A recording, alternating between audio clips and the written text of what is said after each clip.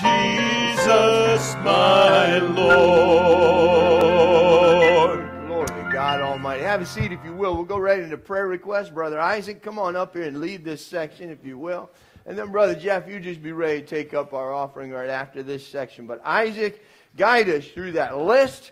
Talk to us a little bit about what you think might be needed as well. Also, I want you to know the Long family, who is uh, very strongly tied to Roy and Christine, uh, has had a loss. Um, where is Roy and Christine? Back here. Roy, do you want to talk a little bit about it, explain the situation? You go right ahead, my man, if you will, just real briefly.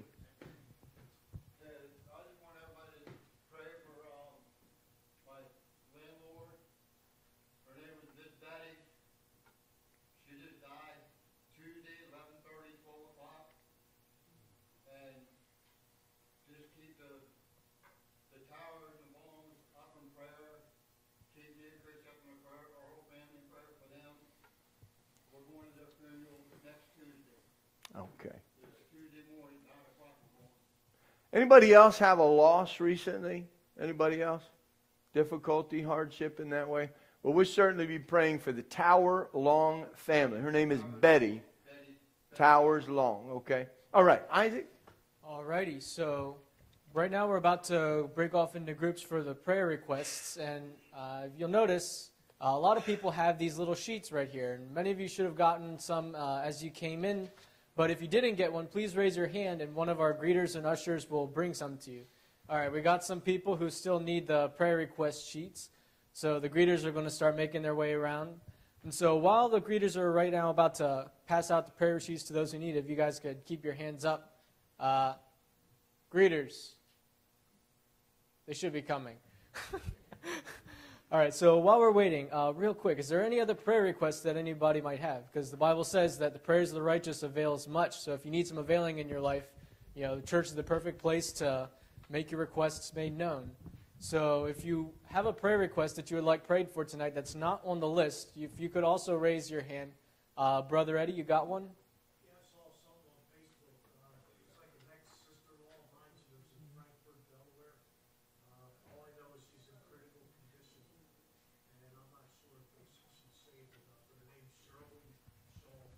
Shirley Shaw. Okay, and then uh, Brother Jay.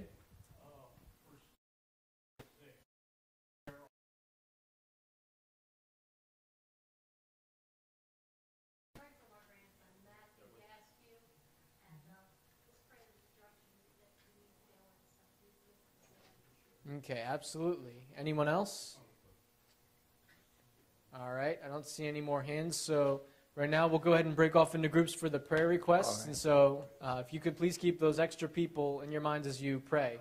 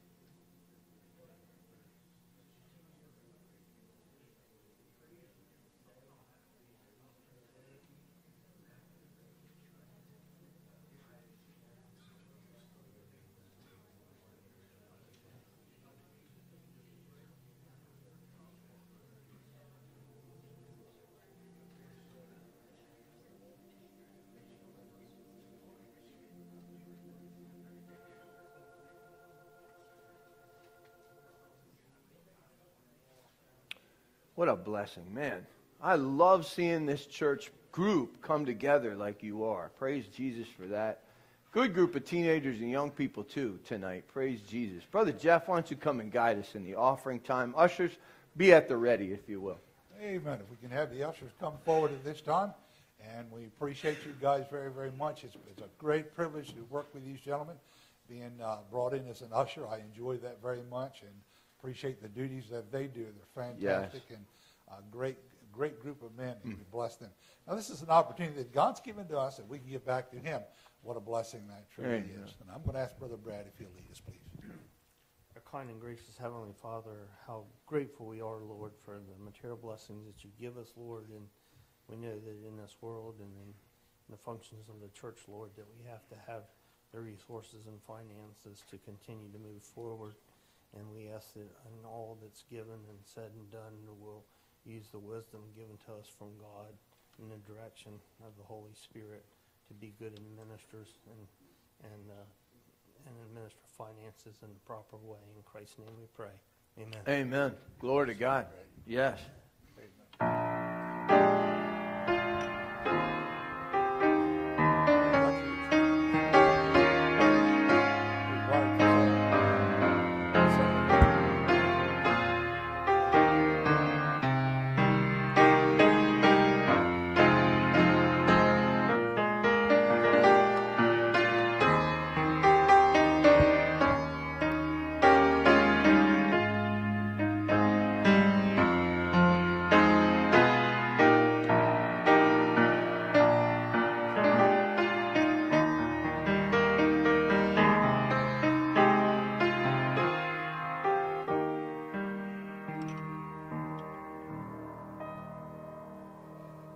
Good evening, everybody. How about if everybody stands up? All right, we're going to be singing hymn number 92, Oh How I Love Jesus. Amen. Great one. Yes.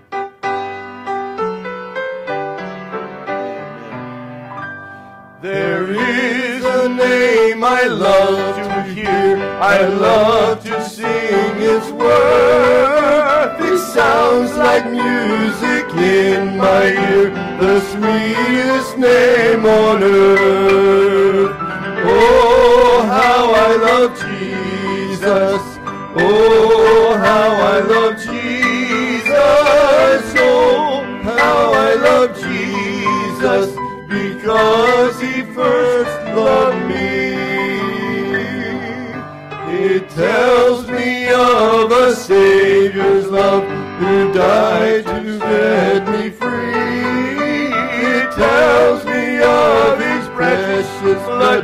The sinner's perfect plea. Oh, how I oh, love Jesus. Oh, how I love Jesus. Oh, how I love Jesus because he first loved me. Amen. Oh, go ahead. I'm sorry. I'm sorry. I'm sorry. Got two more, Pastor. Two more. Two more. I'm Two just more. excited, man. Okay, Amen. go ahead. Go All ahead. right, go ahead. here we go. It tells me what my Father hath in store for every way. And though I tread the darkest path, Oh, how I love Jesus. Oh,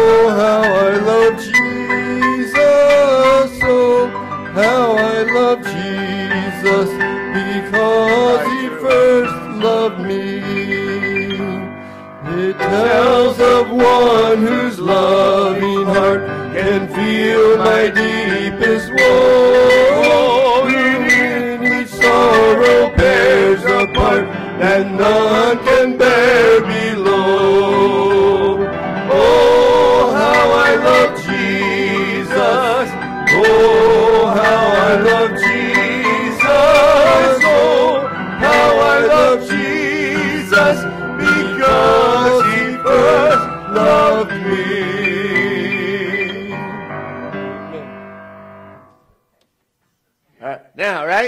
okay. Have a seat. Have a seat. you know, I know uh, some of you out there that say all he needs is the round red nose on his face and he'll be complete. Isn't that right? I saw you laughing, Emmanuel. You like that one, didn't you? You want me to, you, you guys know that. You understand who the clown pastor is. Hey, let me tell you nine things about what's going on. All right, to start with. Antonio, I'm blessed by you, bro. Man, I appreciate this guy. Chris, it's a blessing to have you here. It really is. Antonio, man, it's such an honor, man. I, I had the opportunity to text a little bit with this fella, and the Lord's working in him, man. I'm grateful for that. I can tell. D, it's a joy to have you here, honey. See, is there anybody that's a little bit newer besides these three? Okay, man, that's great for Wednesday night. I know there's some new teenagers, well, newer teenagers, Nick and his uh, uh, sister Shelby as well. And it's just so cool to watch how the Lord's working. And the steeple people get me excited, man. I'm telling you, I was watching. How many of you saw some of those videos? Did you see that? Isn't that cool? Some of those pictures? I mean, Julie, man, what a queen. She just turned out like beautiful. They all did little uh, dress up skits and stuff like that. And that's for me, that's number eight that I'm going to tell you about tonight. Some of the steeple people are involved in True Word, and that gets me excited. Okay, number one, people who want to be members and have already met with the deacons will present group already been inducted in, but we have not brought you before the congregation. We'll be bringing you before the congregation so we can complete our list of members and then those that still have not met with the deacons will continue to go through their process so they can become members here. Number two, if you know someone who would like to be baptized this Sunday, please talk to me tonight, okay? Talk to me tonight or call me, text me tomorrow, however that be. But we want to make sure you get that in early in case you want to have baptism, okay? Number three, tomorrow at 4 o'clock, we're doing follow up visitation. Yesterday, we did street preaching. My dad was there. That was neat. We had a great time. And dad, man, I tell you what, he's, he's something else. He got out there and waved at people. And while I was preaching, we must have dealt with probably 100 people. And so you just continue to pray for that ministry. Tomorrow at 7 o'clock, Strong Men's is meeting. Great time. We'll come great times. How many of you have been a part of Strong Men's before? Look at all the hands, man. I'm going to tell you something. It's a great time. Come, enjoy, have a fun time with it. Number five, Friday, please consider coming with a friend to Reformers Unanimous. We have some new people that have been coming. The last time we had Reformers Unanimous, there were 13. The Friday before that, there were 14. And I believe that this Friday is going to be up. I believe you want to bring somebody to Reformers Unanimous, please be welcomed, okay? Understand that. What we've done is we streamlined Reformers Unanimous so that it's the same exact, I mean exact program. It feels longer, actually. I, I think it feels longer for the way that we do it, but we're just not putting in so many commercials. Okay? I guess is the way to put it. But it's really, really good. Starts at 7 and ends promptly at 8.30, and you'll have a great time. Then we'll do snacks and stuff after that. And then, number six, missions conference team meeting. Uh, what night is best for those of you who want to be on that committee? There are 10 of you who want to be on the missions conference committee. You start thinking now and text me, okay? Those of you who signed up to be a part of the missions conference committee, text me what nights we should meet. I think there should be some weeks where we meet twice. And I'm excited about this year because I think there's more going on now with missions than we've ever had. And I, we're ahead on that and grateful for what God is doing. August the 28th, Epic Involvement Banquet. Two things about that. Number seven. Number one, if you want to be a part of building the tables I want you to sign up for that on the back table. If you want to be a part of bringing part of the banquet food, whether that be meats or whether that be sides or casseroles, don't forget that's on the 28th in the evening, okay? True word. Ah, man, I've been waiting to get to this one. This is exciting. Listen to this. Get this. You ready for this? 49 students have signed up for True Word. That, yes, that's, that blows my mind. At least one is excited. That's good. Okay. Sandy Bryant, Justin, uh, uh, Justin Bryant, Charlene Hastings, Arlene, Ar- Arlene Myers, Bev James, Tom, and Sarah are actually going to be part of the self defense with me. Uh, Perlette Bernardino, Matt Banks, Jack Seacrest, Austin Hammond, Carol Webb, Ruth Ricksecker, uh, Kathy Muller, Dustin Taylor, Hilda Dashiell, Sandy Rice, Lynn Howell, Hunter Hastings, Andy Webb, uh, Pam Daisy, Michaela Daisy, Ellie Bradford, Taylor Mueller, Danny Hastings, Ruth Flores, Marion Jones, Edna C. Diaz, uh, Ed Hall, Anthony Seacrest, Betty Evans, Kenny Evans, Michaela Evans, the entire Evans family, Becca Spirella, Emma Dyer is actually going to be a part of self defense. I think I love seeing the little kids take self defense. That's going to be cool. Jessica Weaver, Becky Evans, Isaac Valdez, Paula Gilbert, Andrea Hastings, Elizabeth uh, Seacrest, Angie Hastings, Michaela Rembold, Jeff Willie, Stephanie. Uh, I don't know that I know her last name. I'm going to be, I've got her number though. Travis Smith. Uh, what is it? Utzler. Okay, there you go. I wondered. I wondered. There you are, man. God bless you. I'm so excited. Angie Hastings, I've already said it. Judith, West, Eric Wingate, and Christine Wingate signed up today. They were the last two, uh, Eric Wingate and uh, Christine Wingate. Now you say, what are the classes? Okay, listen to this. Biblical translation work, child training, biblical historical context, which is hermeneutics, diet and exercise, self defense, ethics and church administration choosing to walk with God, music in the drama team, biblical counseling, studying your Bible, developing as a lady, uh, medical missions, uh, biblical, uh, pardon me. Yeah, and that's it. That's it. There's the 12 major doctrines as well that will be conglomerated into one session. And we'll be going through that. Now, that's a 90 day commitment. Starts on September the 5th, ends on December the 10th, and then it starts up in January 23rd and ends in May, May the 4th. So it's 90 days, just about on each end in the fall and in the spring. And so there are 11 teachers, four that are uh, substitutes. And I just can't believe it came together this quick. I am overwhelmed. I mean, it is a miracle. So continue to pray for true word. And yes, now you can applaud. Okay, yes, please go ahead. I am excited about seeing so many. So if you want to be a part of this, this, this is not closed. It will not be closed until the last week of August. You have plenty of time to think.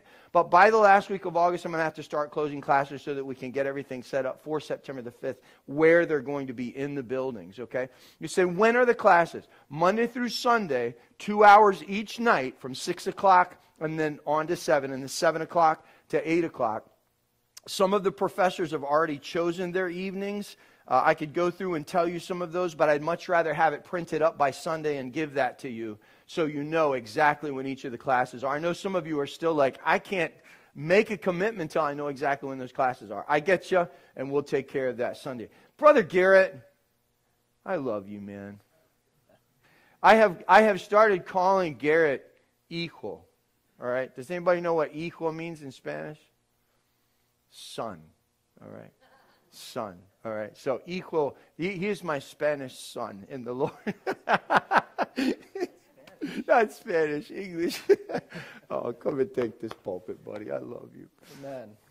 I'm very happy that there is a discipleship program like what Pastor is, is putting forth. It's so important. I didn't realize how important classes were until I, I, I, went to Bible college. There's nothing really special about Bible college, but it is a place where you learn and grow. And I hate school. My mom can tell you. I'm sorry. I'm sorry. I forgot one thing. Did you shut me off? I'm sorry. Listen. Number nine, I told you there were nine things. The softball sign up is on the back there.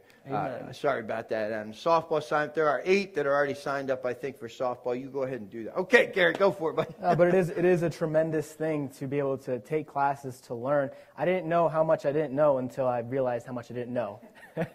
so it's a good thing. If you can do it, I encourage you, just learn what you can when you can. It's always a treasure. So I want to ask, ask you, the church, my church family, what do you guys think our mission is?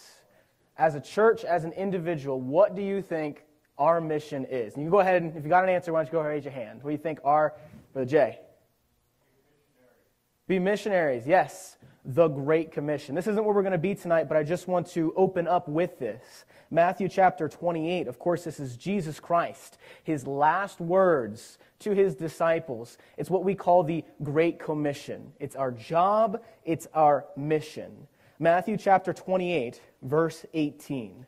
And Jesus came and spake unto them, saying, All power is given unto me in heaven and in earth. Go ye therefore and teach all nations, baptizing them in the name of the Father and the Son and the Holy Ghost, teaching them to observe all things whatsoever I have commanded you. And lo, I am with you always, even unto the end of the world. Amen.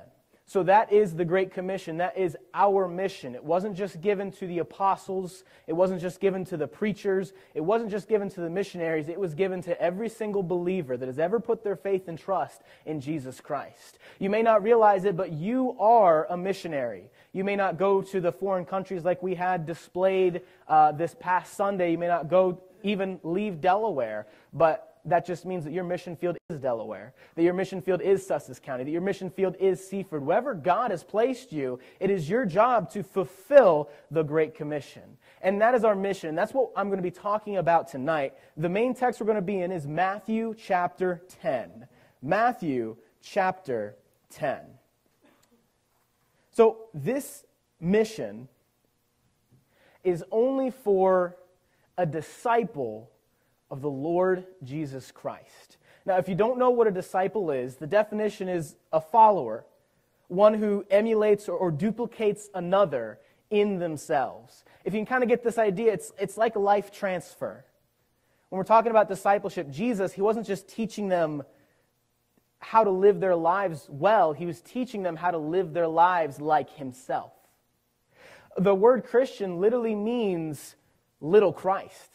At first, it was a rebuke to the church, but I mean, that's what we want to be identified as little Christ, followers of Christ, Christ like. So, discipleship is life transfer.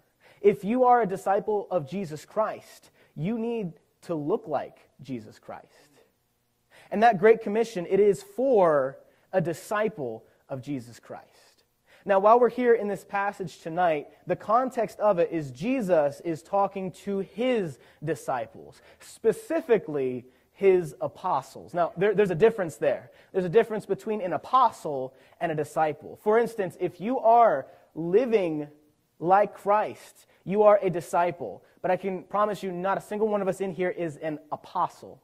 You see, an apostle is somebody who has seen the risen Christ. And often at the beginning of the church age, God gave them special power. He imbued them with different gifts of the Holy Spirit that is not available today. The Pentecostals would say, oh, yes, you can do all these things. You can heal, you can cast out, you can speak in tongues. But no, that's not true. Only the apostles were given that power, and that was only for a short time. As we read the book of Acts, we even see in their life it fading. At the very beginning of the church age, after Jesus Christ ascended, he sent out his apostles to fulfill this mission, this great commission, and he gave them these powers as signs, kind of like as a, as a jump start. It started with the Jews, and the Jews required a sign. So they worked these miracles, and it jump started the church and moved forward. And as the church moved on and souls got saved, that power, it, it started to go away. So I want to make it very clear as we're getting into this text, we do not have apostolic power. We are not apostles, but we are disciples, and so were they. So, in your mind, Jesus' 12 followers, they were disciples and they were apostles, but we are just disciples. So, there's things in here specifically for them, and there's things in here specifically for us.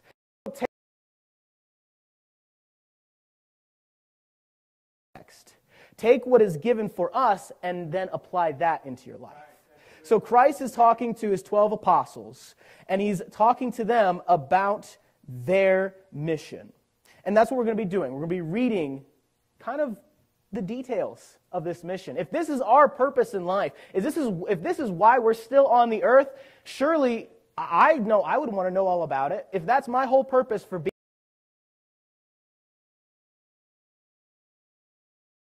what, what should I expect? What should be going on? So, and I know many of you are well familiar with this mission. Many of you have accepted this mission and have been living it, but how well? Have you been living it? Maybe you're somebody who has heard the mission and, and still kind of on the fence. Like, should I commit to it? Or uh, my life is pretty great right now. I don't know if I should. This message is for you too. So read with me, if you will, Matthew reading in 1.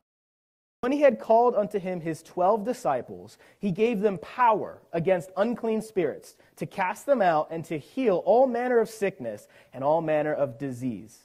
Those are the things I'm talking about, not for us. Verse number two Now the names of the twelve apostles are these the first Simon, who is called Peter, and Andrew, his brother, James, the son of Zebedee, and John, his brother, Philip and Bartholomew, Thomas and Matthew the publican, James, the son of Alphaeus and Lebbaeus whose surname was Thaddaeus, Simon the Canaanite, and Judas Iscariot, who also betrayed him. So these are the 12 followers of Jesus, his close group, the people who walked with him and lived with him and tried to emulate his life in their own. Now, there was nothing tremendously special about these people. We know four of them were just simple fishermen. We know even from this text that Matthew, he was a publican, he was a tax collector. And as you go through, you see these this about them. They're ordinary people. And what's really encouraging is God loves to use ordinary people, which is really good for me because there isn't anything special about me.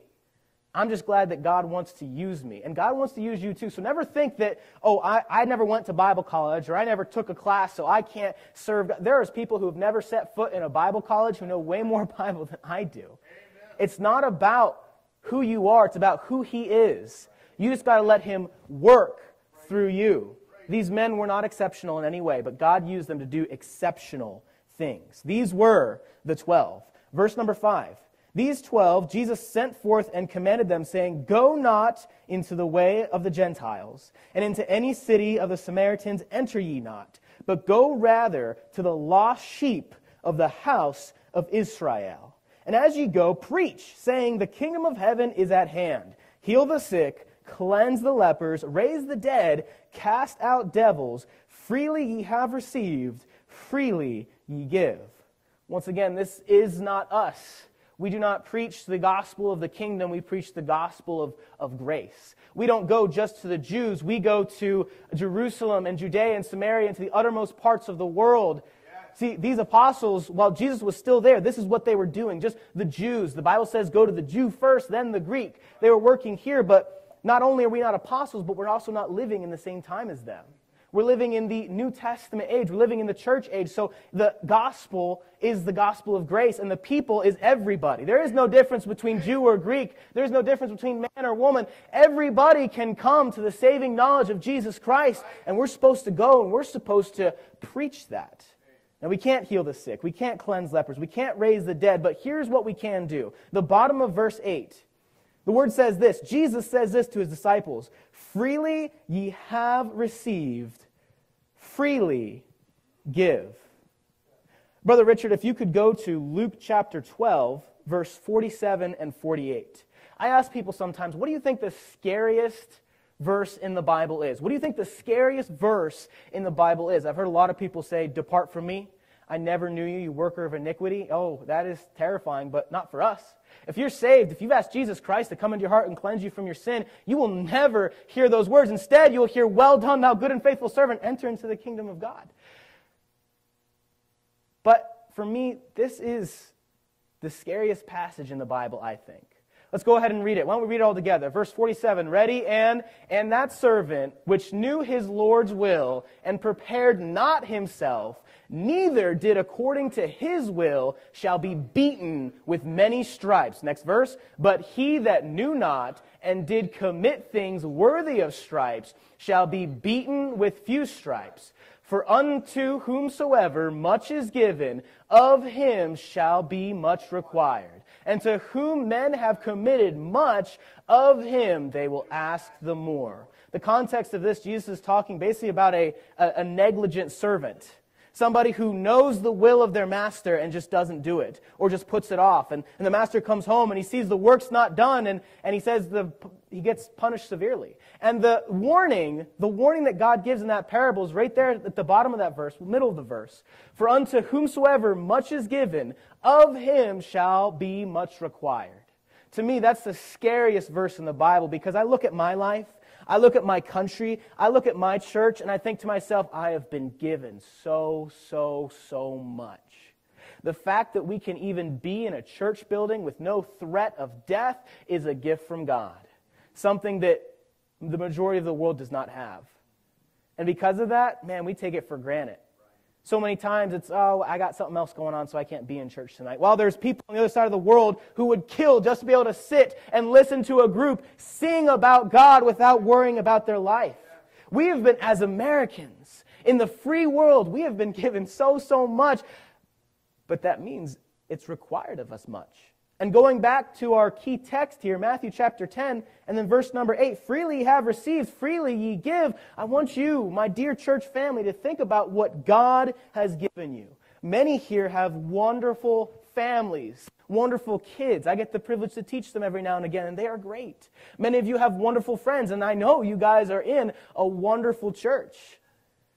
Now, I know we all have different health issues and different concerns, but the fact that you're even able to walk in this building and sit down and have ears and eyes and listen, and the fact that you have a Bible, the King James Bible, in your lap, and you're reading the Word of God straight from the pages right to you, the very mind of God is sitting in your lap. Wow. To whom much is given, of him much is required. Imagine how much the disciples were given. All this apostolic power, all these gifts, how much was required of them. Understand this our mission as disciples of Jesus Christ, our mission as little Christs, preach the word. Because the greatest thing we've been given, the greatest thing that has freely been given to us, that we have freely received, is salvation. Nothing can compare. Hey, you're not going to hell. Holy cow, you are saved. You're going to heaven. Hallelujah. My goodness. But to whom much is given, of whom much is required. So, hey, who are you telling the gospel to? Who have you told the gospel to today? Can you think of a faith this week that you've talked to? Ah, I can think of one. That's good. What about two? What about three? The verse says, freely ye have received, freely ye give. Now, all the other stuff I had just read was for the apostles, was for their age, for their time. But right now, for you, disciple of Jesus Christ, in the New Testament age, freely ye have received, freely give. How's your giving?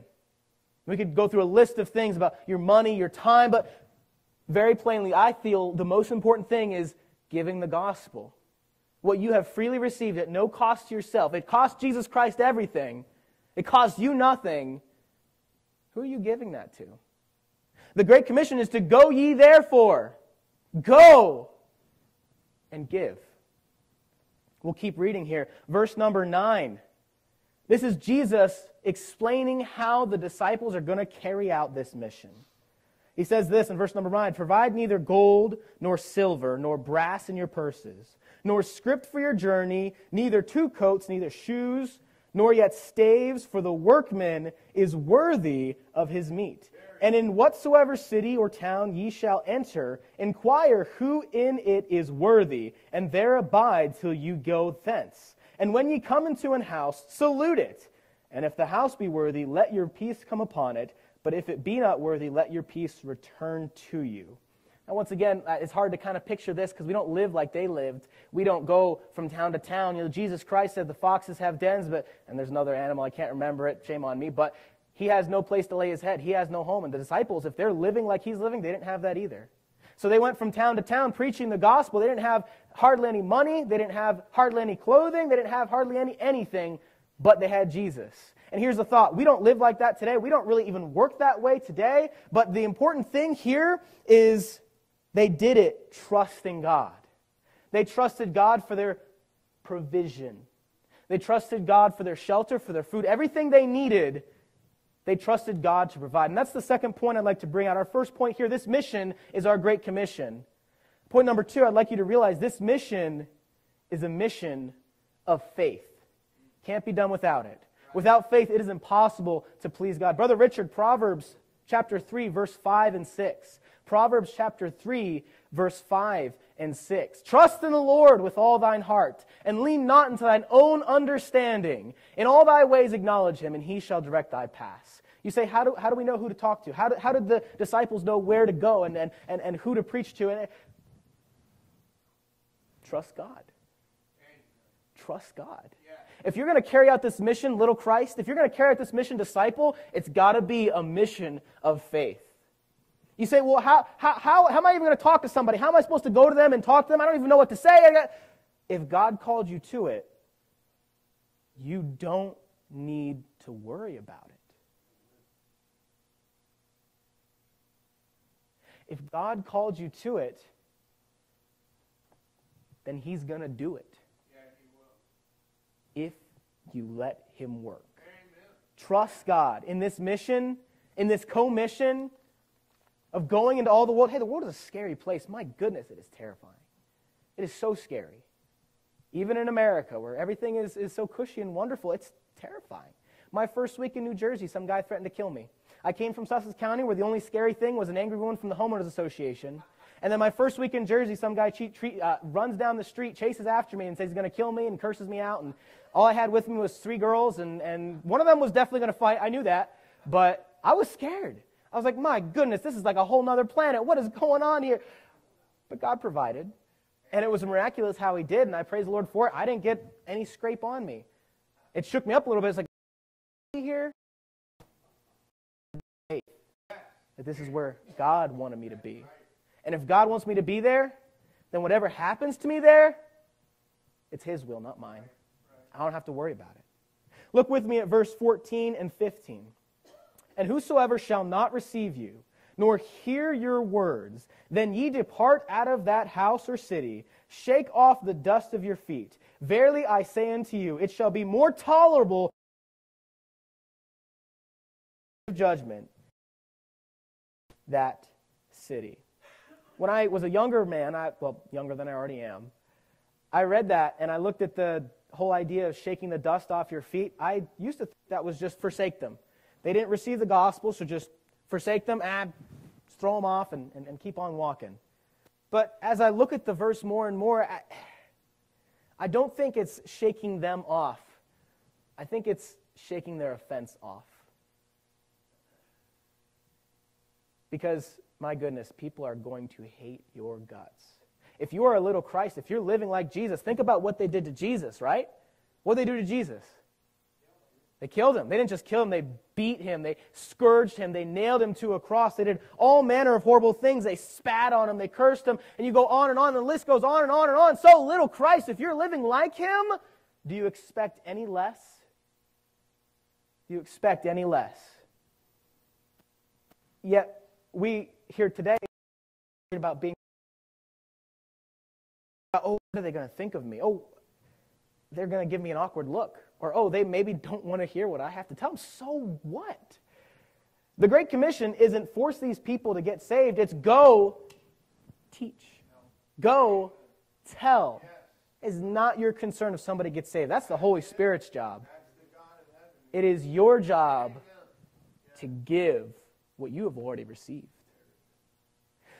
Point number three this mission, this mission is a dead man's mission. And what I mean by that is when I was in college, I heard a pastor explain this to me about being offended and dealing with people. He was talking about how he had gone through a lot of issues in his church and how he was getting slandered up the pole. And he said this, and he just kept saying it. He says, You can't hurt a dead man. You cannot hurt a dead man. That means when you die to yourself, when you your flesh talks about, you're realizing that it's not about you, it's not about what they do to you, it's not about what they say to you, it's not about what they think about you, it's about Him. It's about Him. You start to realize, man, this is just dead.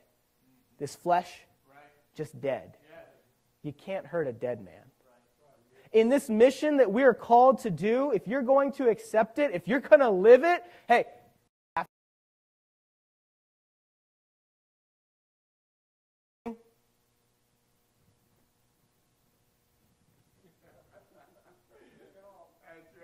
On to the next person. I can't tell you how many people have slammed the door in my face out door knocking, how many people have cursed me out, how many people have cursed out my God. It's okay. God says it is worse for them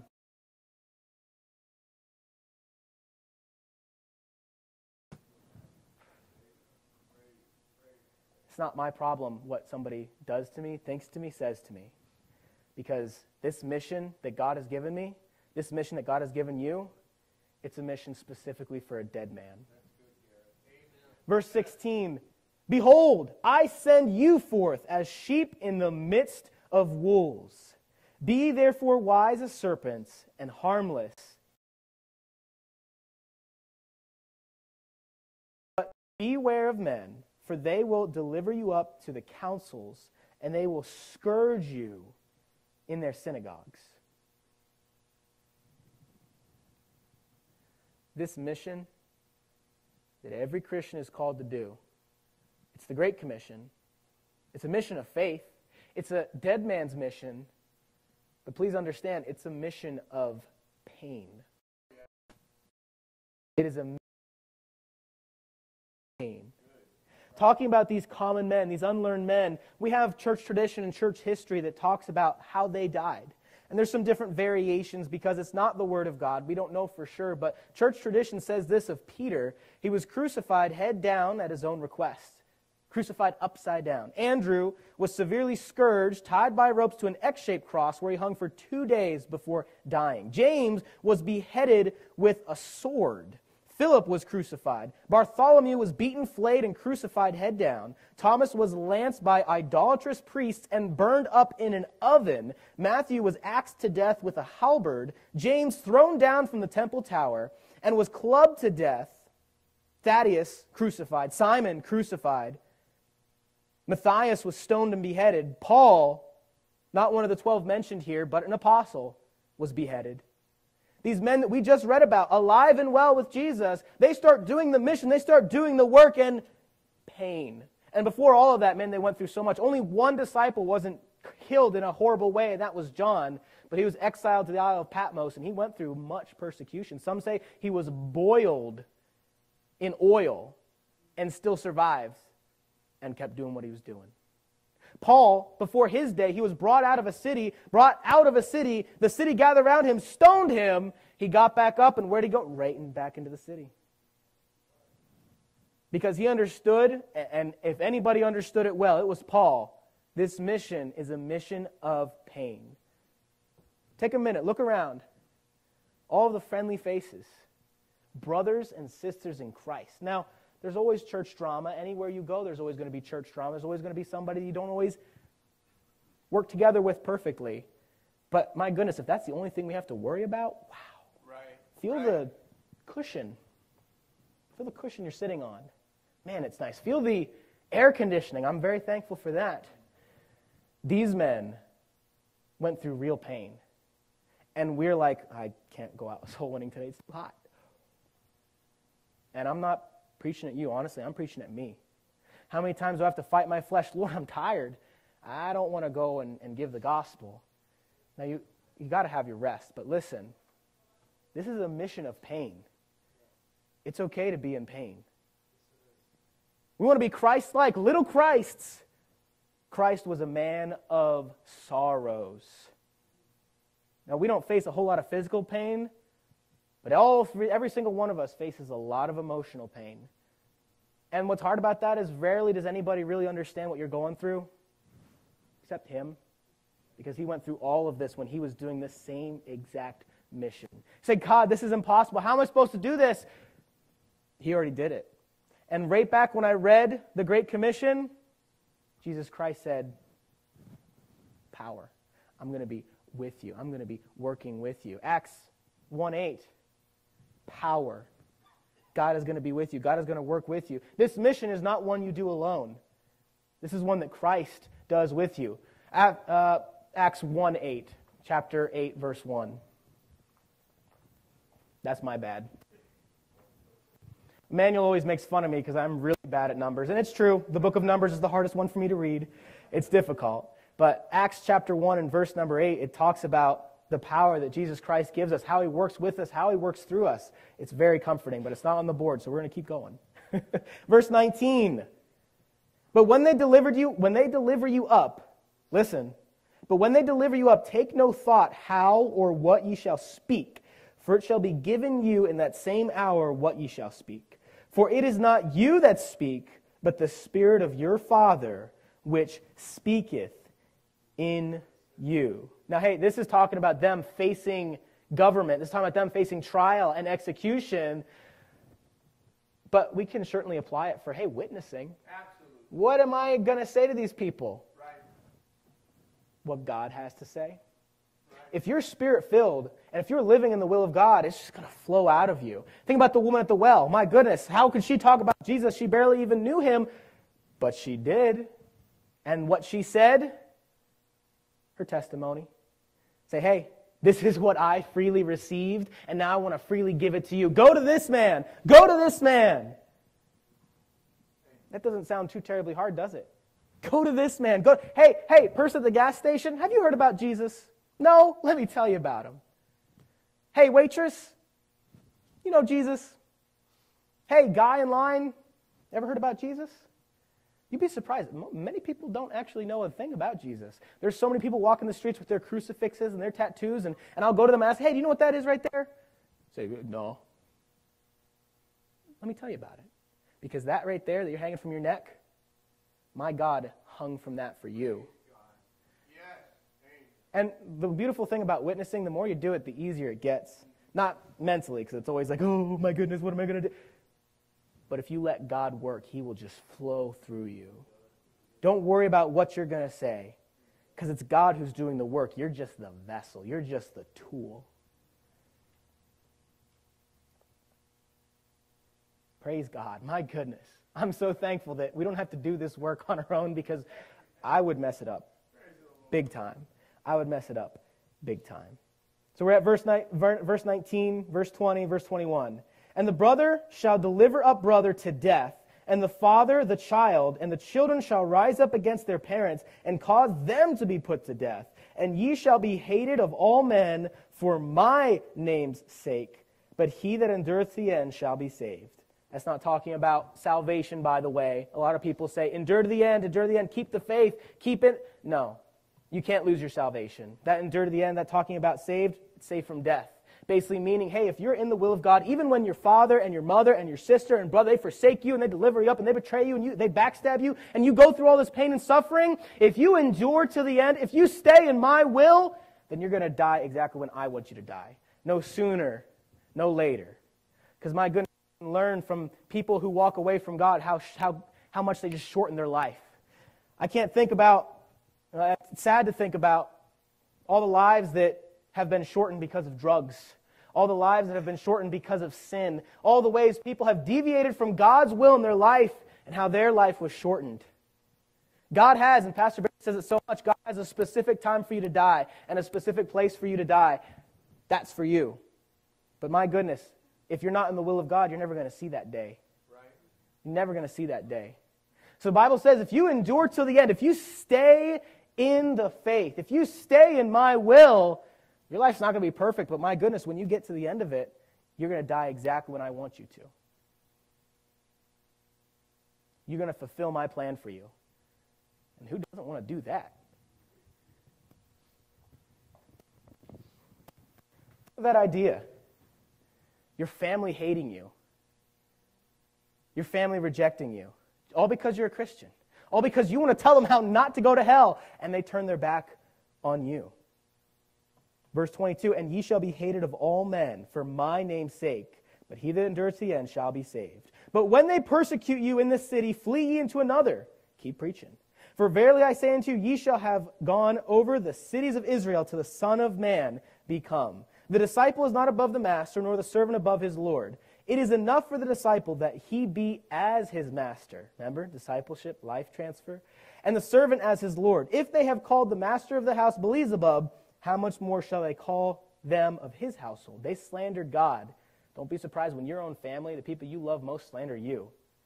See, when you get to a point, when you get to a point where you say, I'm a dead man, my life, Doesn't matter to me at all. My comfort doesn't matter to me at all. What matters is Jesus. Wow, what bliss. what bliss. It's not a peaceful life. No way is it a peaceful life. But it's the life God has for you, and that brings much inner peace. That brings true joy. Living for God, living in God's will. Talking about, hey, the pain that you're going to go through, if you are living in the center of God's will, what else are you going to do? I mean, that's where God wants you, right? And his ways are higher than our ways. He knows better. I see the time we're going to be moving on here. It's a mission of pain. Number five, it's a mission of promise. Verse 26, Fear them not, therefore, for there is nothing covered that shall, be, shall not be revealed, and hid that shall be not be known. What I tell you in darkness, that speak ye in light, and what ye hear in the ear, preach ye upon the housetops. And fear not them which kill the body, but are not able to kill the soul, but rather fear him which is able to destroy both soul and body in hell. Who's that? It's God. So we shouldn't be fearing man because all they can do to us is, is kill this and hey, it's already dead, right? What we should be worried about is what God thinks, what God says, what God wants. Verse 29 Are not two sparrows sold for a farthing, and one of them shall not fall on the ground without your father? But the very hairs of your head are all numbered. Number five, it's a mission of promise. You say, there's so much pain, you're going to be so many, so many awful. Look what God promises. Hey, you read the back of the book, and we win. You look around, oh, the world is so awful, the world's so terrible. Jesus wins. You don't have to worry. You don't have to be concerned. You just have to keep preaching Jesus. And hey, even the quiet ones. If people say, oh, I don't, I don't talk very much, preach Jesus. Preach Jesus in your life. There's a guy named Jack Chick. He wrote Chick tracts, little comic books, and I love him. I love to give him out. Gives the gospel. That man hated to talk to people. He was so terrified to give the gospel, but God gave him the gift of art. He was a comic book artist. And so what he did, he sat down and he wrote these tracts. And there's so much controversy around him, but billions of those tracts have gone all over the world and testimony after testimony after testimony. That's how he preached Jesus. And I'm telling you, you don't have to be standing on the street like Pastor Barry preaching to City Hall and everyone who passes by. You need to do what God tells you to do. You need to preach how God tells you to preach. And this is last thing I want to tell you. The last thing I want to tell you. Point number six. Go back to point number one. It's the, our mission is our commission. Point number two, it's a mission of faith. Number three, it's a dead man's mission. Number four, it's a mission of pain. Number five, it's a mission of promise. And number six, it's an exclusive mission. Verse 37 He father or mother more than me, and he that loveth son or daughter more than me is not worthy of me. And he that taketh not his cross and follow after me, he is not worthy of me. He that findeth his life shall lose it, and he that loseth his life for my sake shall find it. He that receiveth you receiveth me, and he that receiveth me receiveth him that sent me. What do I mean by this mission is exclusive? Goes right back to the beginning. It's exclusive Christ. It's exclusive for little Christ. You can't complete this mission if you're in and out of church. You can't complete this mission if you're sitting on the fence. You can't complete this mission if you're not entirely sure that you're even saved. Your mission is the Great Commission. And the title I put for this sermon is This is your mission if you choose to accept it. It's a choice. After all that I told you about this mission, and some of you who've been in the faith for a long time, you're well acquainted with what I'm talking about. Hey, today, have you chosen it? Today, have you decided, I'm going to do this thing? I'm going to preach Jesus. I'm going to preach Jesus. Are you going to accept this mission? Are you going to rededicate yourself to this mission? Hey, it'll be worth it all when we see Jesus.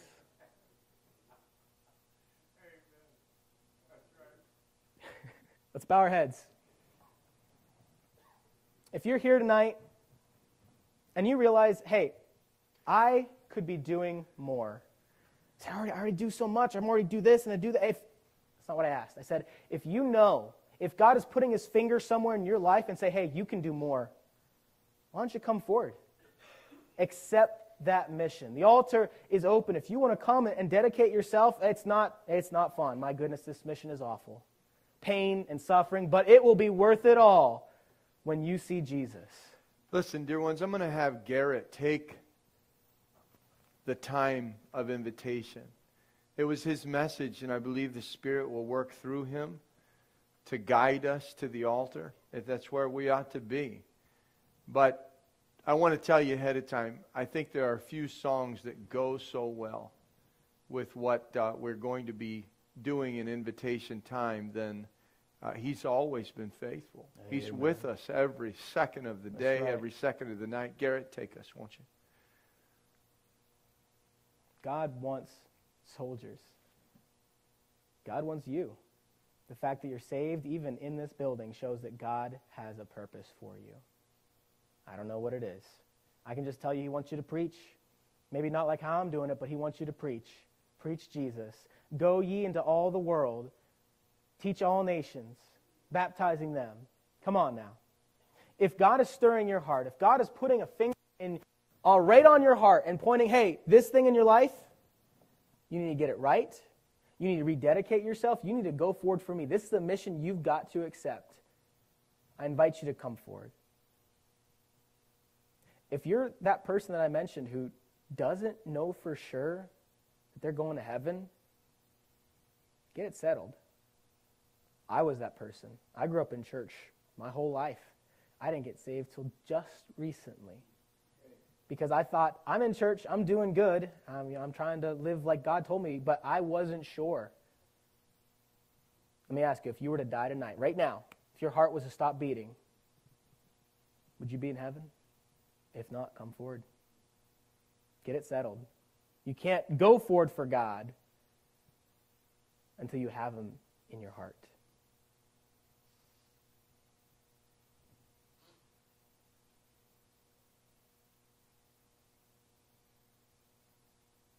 Holy God, I thank you. I thank you that you would want to call us to this mission field. I'm thankful that you would place these people in this town, in this time. Lord, you made us for such a time as this. Everything that's going on in the world, we're here today for a very specific purpose. Help each individual in here to fulfill that purpose, to go forward, to complete their mission. I pray you'd comfort them. Comfort me. It's a scary world, but you are a great, great God. Go with us as we leave. Work in our hearts. Stir us, Lord. I pray that we walk out of this building different than how we walked in. Help us to fulfill the Great Commission, even tonight, if you give us the opportunity. I ask your blessing, and I want to just tell you how much we love you. And in your holy name, amen.